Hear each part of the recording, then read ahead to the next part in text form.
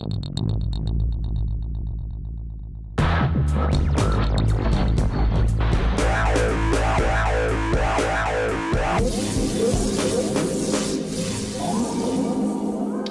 the late 70s, early 80s, I wanted to deconstruct painting away from the traditional single object. To me, um, uh, when you go into a gallery and you look at a beautiful 19th century painting in a big gold frame, you are looking at a single object of contemplation, which is one way of looking at art.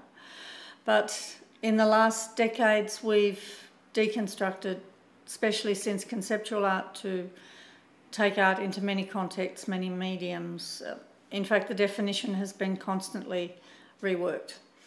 And my problem that I set myself was how could you do that with painting? Because painting is an extremely traditional form in terms of people's expectations of it. Mm-hmm. So to have something on a frame with images painted with paint, that's sort of saying I'm someone who is interested in traditional skills.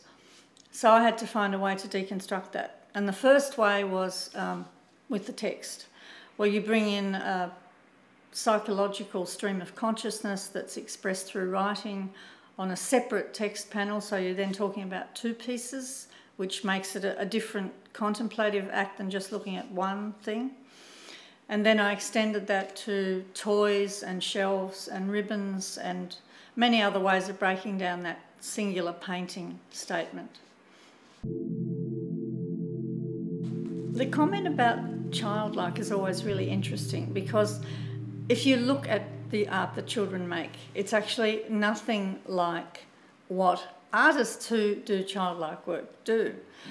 When artists use childlike style of painting, they're deconstructing their skills but they're not actually doing what children do. What children do is, is very primitive.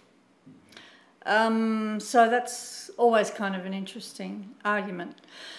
So I asked myself, how could you make work that's, that's going to be absolutely yours, that no one can copy in the form or the content? For me, the answer to that was to go inside the self very deeply and use a lot of self-portraits and use personal history way back to childhood, particularly a childhood growing up in Australia, which is kind of isolated, and animals and pets and people. And yeah, my answer to attempting to make original art was to go for the autobiographical. As a poor artist, um, canvas, linen was very expensive, and um, I was looking for ways to, to make work that didn't have to use those traditional supports. And um, it came from that. But then I realised by doing that that the fabrics have an entire set of information that, that is about the fabric itself. For example, this current show, American Idyll, these are beautiful quality American cottons, and somehow the palette is to do with a, a sort of um, life energy of America somehow, the beautiful pale blues and oranges and pinks and florals and it, it, the fabrics in itself give a portrait of what the culture thinks about itself. The American cottons themselves suggested um, in a way, a sort of perfect 50s childhood in America, which um, I think is actually a bit of a theme culturally. America seems to have gone back to 50s fashion, retro looks, even the TV show Mad Men about the advertising on Madison Avenue in the 50s and 60s.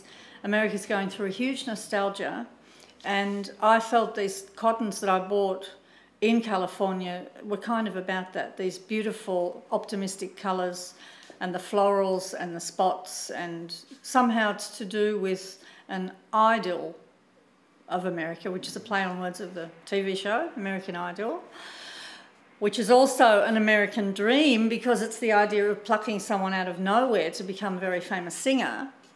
Um, and then I worked out the images for those idyllic fabrics. I was in a thrift store in California and there was a big book on Baryshnikov and I was looking at it because I like images of ballet and there were three photos where Baryshnikov was dancing but he was not dressed in a ballet costume. He was dressed as a toy soldier, a cowboy and a sailor.